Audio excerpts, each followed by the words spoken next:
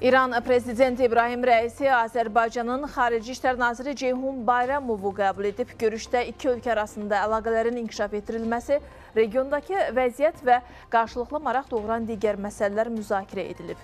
Rəisi bildirib ki, dost, qardaş və qonşu ölkə Azərbaycanla əlaqələrin möhkəmləndirilməsi İranın xarici siyasətinin prioritetlərindən biridir.